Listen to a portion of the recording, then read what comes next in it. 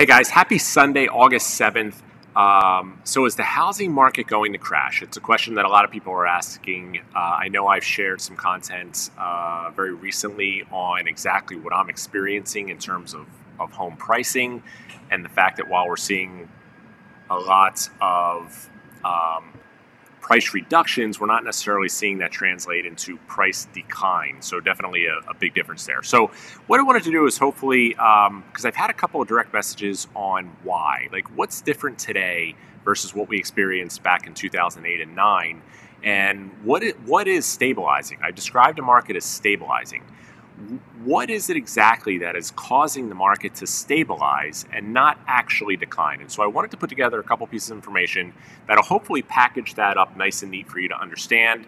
Uh, and then also share with you a few metrics that I look at locally that can be applied to basically any market around the country. So wherever you are uh, in your own local market, these are a couple of metrics that you can follow and get a better idea. So I'm going to share my screen um, here, and I've got a couple of slides together which first to give uh, to to give some not just perspective but um, uh, identification as to where some of this content came from, at least from the graphs that I'm going to share. Uh, I am a Dave Ramsey, what's referred to as endorsed uh, broker, part of his network. I represent buyers and sellers that's, uh, that are referred to us from Ramsey Solutions it's been a relationship that I've had for well over 10 years, and, uh, and I've always had a lot of admiration for Dave's view on the housing uh, economy.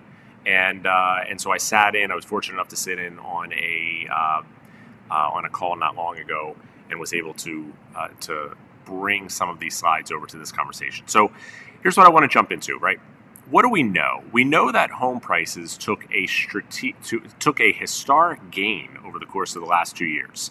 Um, no, no surprises. One of the biggest upticks that we've seen that we've certainly ever experienced uh, in the past, and uh, I've been talking a lot about supply and demand. And as we know, like basic fundamental principle of housing is, you know, is supply and demand, right? So when we have far greater demand than we have supply, prices of any product, whether it's a house or um, you know rare art, uh, collectibles, etc. Even the automotive industry has been seeing a lot of uptick in terms of seeing pricing. You know, we saw what that that impact has had on the price of even used cars over the last couple years.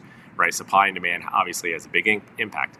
But there's more to it. The supply and demand part we know, right? We know that there's been huge demand coming out of the pandemic. We've had huge incentive as a result of uh, very, very historically low interest rates. We've also seen and we understand what happened, like the story's been told about inventory.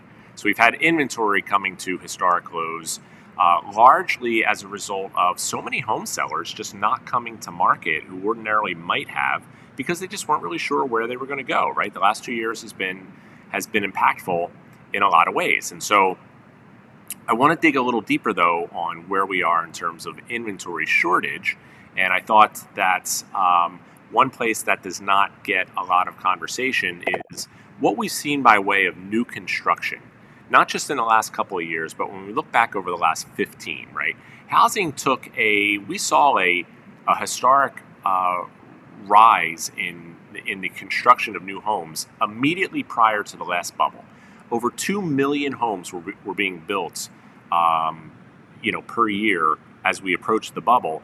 And the reality is, is we didn't have the demand to support it, which is why ultimately the market fell off a cliff together with new home starts. And you can see for the better part of the last decade, the number of new homes just kind of limped along, right? And and it was it was for a couple of reasons. One, the demand and where values were uh, in the initial years. But then once the market finally started to gain in momentum and construction started to gain in momentum, we end up entering the, the, the, the last two years of the pandemic. And ultimately, what happened with uh, as a result of the pandemic was a massive supply chain challenge causing massive increases in the costs of materials, uh, namely lumber.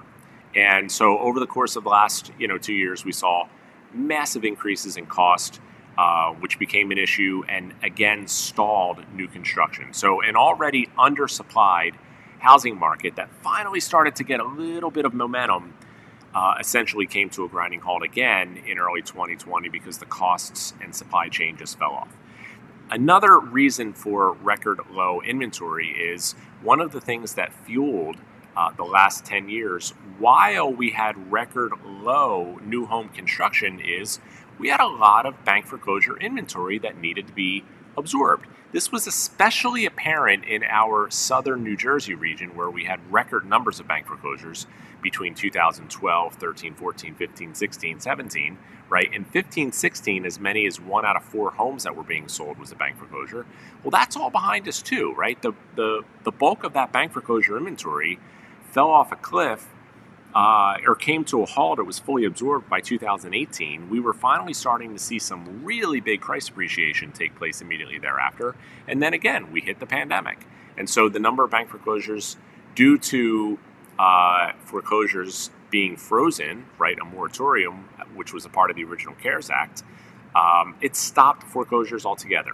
Now, that's a whole nother conversation, right? Um, I which obviously, if anybody's uh, known me for a long time, know that I have a, a deep history in what we refer to as default servicing. Uh, bank foreclosures returning at record levels, not a concern of mine in any, at, you know, at, at all at this point. Uh, and I would invite any inquiry into uh, talking more about that. I'm certainly here.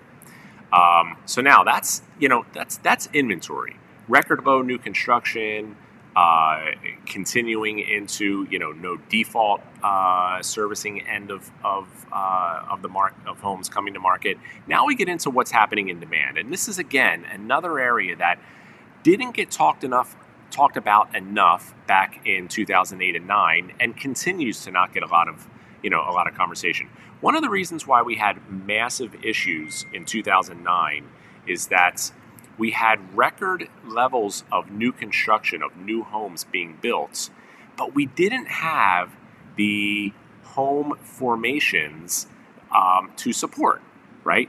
Right now, in the last, in, in these next couple of years, we have a massive shift in terms of demand coming from new generations. There are 11 million more millennials than there were Gen X, which is my generation, and, and there are over 5 million alone coming into their first time home buying years over the course of the next uh, uh, five years moving forward.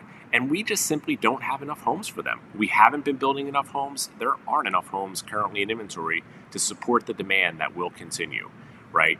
When we look at the record number of, of, uh, of households, we are at, we have 12 million total more households in the United States than we did back in 2007. So you know, huge expansion in population, um, expansion in uh, uh, demand for housing, and just not the housing to keep up with it.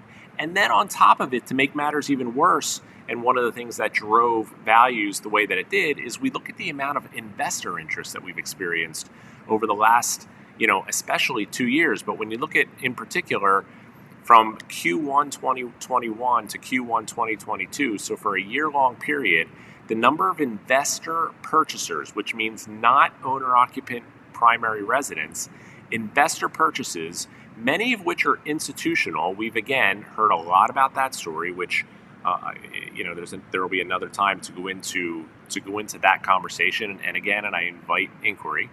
But when we look at investor purchases, eh, most of these cities, you can see the most popular. Many of these were Sunbelt cities which is interesting. But all across the country, we've seen big investor uh, purchases.